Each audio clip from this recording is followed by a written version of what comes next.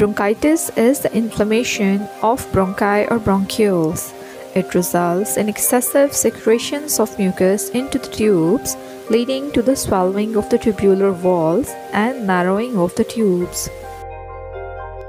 Causes It is caused by viruses or bacteria that can be transferred by sneezing or coughing, or it can also be caused by exposure to chemical irritants like tobacco smoke.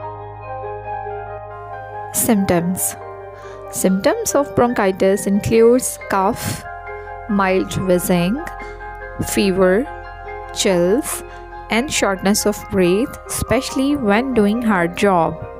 Types of bronchitis. There are two major types of bronchitis, acute and chronic. Acute bronchitis usually lasts about 2 weeks and patient recover with no permanent damage to the lung system. In chronic bronchitis, the bronchi develop chronic inflammation.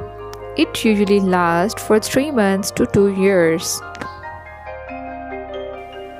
Bronchitis is usually treated by resting, drinking hot fluids, including hot beverages to thin mucus, inhaling steam from a hot shower or humidifier, avoid lung irritants like smoke, paint, and strong fumes, wearing a mask when air is polluted, try a honey and lemon drink to soothe the sore throat and ease your cough.